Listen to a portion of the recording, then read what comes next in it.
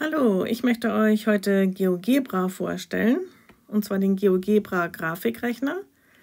Damit kann man wunderbar einen Graphen zeichnen. Das heißt, ihr gebt hier oben einfach f von x gleich x ein. Und ich habe auch noch eine zweite Funktion eingegeben, g von x ist gleich m mal x plus b.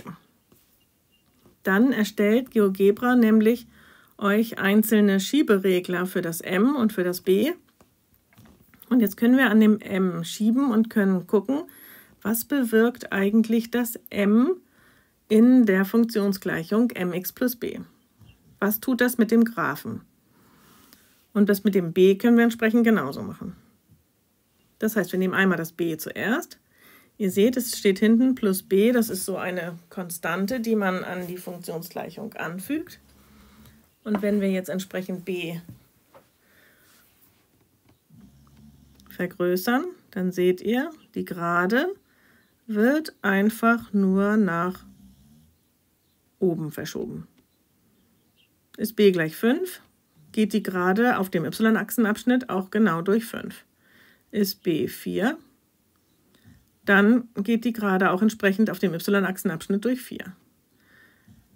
Ist b 0,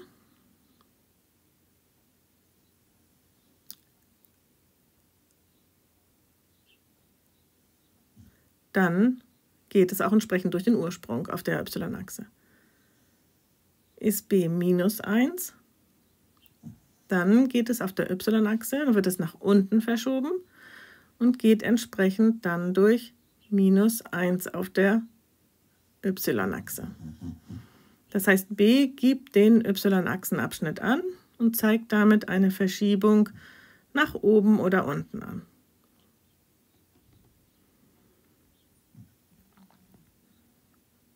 Genau.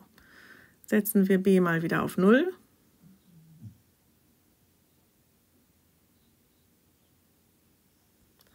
Und schauen uns an, was m macht. m heißt ja, ist ja die Steigung bei der linearen Funktion. Also können wir gucken, was passiert, wenn wir m jetzt vergrößern. Und ihr seht schon, die ganze Gerade wird steiler. Steiler, steiler, steiler. Genau, das heißt, man sagt, die Steigung ist jetzt 5. Wir gehen also vom Ursprung aus 1 nach rechts und 5 nach oben und haben dann unser Steigungsdreieck.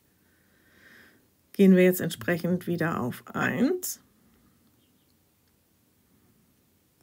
Dann ist die Steigung 1, 1 nach rechts vom Ursprung und 1 nach oben. Gehen wir jetzt auf 0,5. Ihr seht schon, es wird flacher, flacher, flacher und wir sind bei 0,5, dann sieht man das Steigungsdreieck, einen nach rechts und nur noch einen halben nach oben. Oder wir können auch zwei nach rechts und einen nach oben gehen. Das bedeutet eben Steigung 1,5. Jetzt können wir entsprechend noch weiter verschieben. Aber ihr seht, es wird einfach immer nur flacher. Entschuldigung, Jetzt habe ich den falschen verschoben.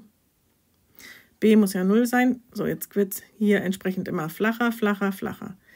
Ist m gleich 0, haben wir gar keine lineare Funktion mehr, sondern nur noch eine konstante Funktion, weil der Graph eine Gerade ist, der, die genau auf der x-Achse liegt. Gehen wir jetzt mit m minus 1. Dann fällt der Graph. Das heißt, die Steigung ist negativ, der Graph fällt und entsprechend hier steiler, steiler, steiler. Aber es ist eben bei minus 5 jetzt ein fallender Graph. Wir gehen, um das Steigungsdreieck anzuschauen, ein nach rechts und 5 nach unten. Das zeigt genau die negative Steigung an. Wenn wir jetzt entsprechend nochmal anschauen, also wenn der Wert negativ ist von m, haben wir einen Graph, der eine Gerade, die fällt. Bei m muss ungleich 0 sein, damit es eine lineare Funktion ist. Und jetzt steigt der Graph wieder. Erst flacher und dann entsprechend steiler. Genau. Ja, Versucht es selbst einmal bei GeoGebra euch so einzustellen. Das geht ganz leicht. Ich zeige euch noch einmal kurz die Eingabe. Das heißt, man geht hier einfach nur auf Eingabe und gibt jetzt einfach zum Beispiel x ein und drückt Enter. Dann hat man entsprechend jetzt nur einfach den Graphen zu f von x oder entsprechend h von x ist gleich x. Und wenn man das mit Parametern eingeben möchte, dann gibt man, ich lösche die hier mal, damit ihr seht, wie das dann eingegeben wird. Und jetzt gibt man einfach nur f von x oder sowas müsst ihr gar nicht eingeben. Das heißt, ihr könnt sofort starten mit dem m. m mal x plus b. Und wenn ihr jetzt Enter drückt, dann macht GeoGebra automatisch euch die Schieberegler. Genau, und dann könnt ihr entsprechend hier wieder schieben, sodass ihr das dann genau anschauen könnt.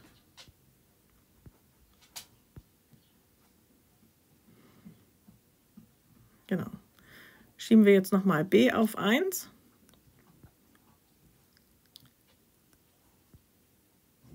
Und m auf 2 zum Beispiel. Dann haben wir eine klassische lineare Funktion mit der Steigung 2 und dem y-Achsenabschnitt 1. Genau, okay, probiert es selber aus. Dann wünsche ich euch viel Spaß.